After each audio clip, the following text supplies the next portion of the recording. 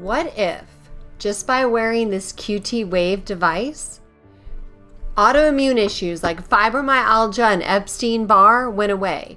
The pain and the fatigue decreased substantially. Let's hear from our members. Um, I feel like uh, my fibromyalgia is nearly gone. I mean, once in a while I can tell in my elbow here area here, but as far as the rest of it, I feel like it's gone or nearly gone. I was used to walking five miles a day, and I so I had a, a pedometer that told me how many steps I was doing to make sure I got to 10,000 steps. And I was about 400, 500 steps a day versus 10,000. So I was really at a zero. It was it was very very hard by the time I got there. And today, some days I'd say I'm a 9, which is amazing. But oh, here's this. We went as a family to a bird reserve for an Easter egg hunt. And I did the whole five miles, two hours of walking. And I did it.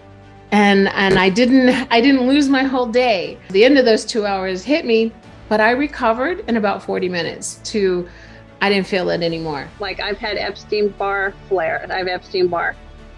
And when that happens in the past, I'm like, if I hit that level, then I'm just done for a month and I'll go sleep until I can recover.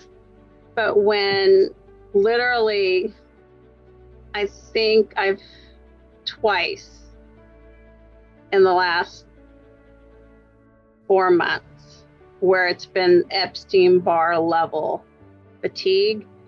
And I've been able to recover within like two days. And then I couldn't move for days. There was days I'm, I, I would be in bed. I could not move. That was my life before. So when I got the device, this little magic device right here, I know has done beyond anything that I have even done within myself in two months time, two and a half months time. So, isn't it amazing by just wearing this QT Wave device? You can feel so much better from the issues surrounding autoimmune disease. So, join us